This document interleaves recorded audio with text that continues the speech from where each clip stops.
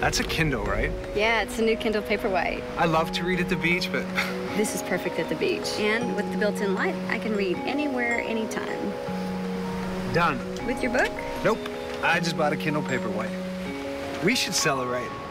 My husband's bringing me a drink right now. So is mine.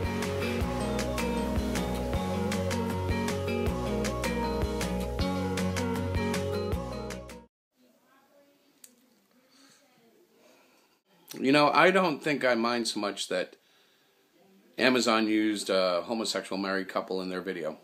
It's their business, it's what they want to do. But I do think there are um, problems in the way they did it. Kind of uh, backhanded people with it. You know, it wasn't something that anybody saw coming. And I understand that. You know, that's the way commercials work. You know, they want to catch you. Boop. Oh, we got you. We surprised you. But frankly, I wasn't very pleased by the surprise. Now I know there are a lot of people who will be, and that's that's fine. That's the way commercials work. That's the way commercialism works. But as a Christian, I have to wonder just how far we've gone in this country. Just how far we've gone away from God. That this is something that's been accepted to the point where they've slid in it into primetime TV on commercials. And I'm sure this is just the first of many. I'm I'm I'm positive now we're going to see more of these.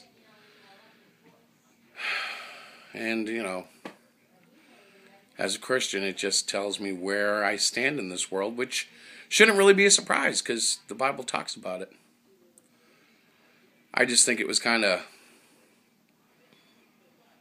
I don't know, underhanded the way Amazon threw it out there. With that said, the only other thing I can say, and I'm going to say it because this is something that I've seen for a long time, and of course, I haven't had an opportunity to talk about Amazon in a video, but if you look at their logo, what is that thing under the word Amazon?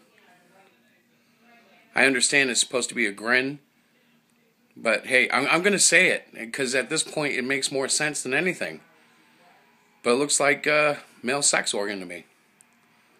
And it has ever since they put it out. Maybe maybe that's just the face of the company and, and they're just getting around to revealing it, but it is what it is. And uh,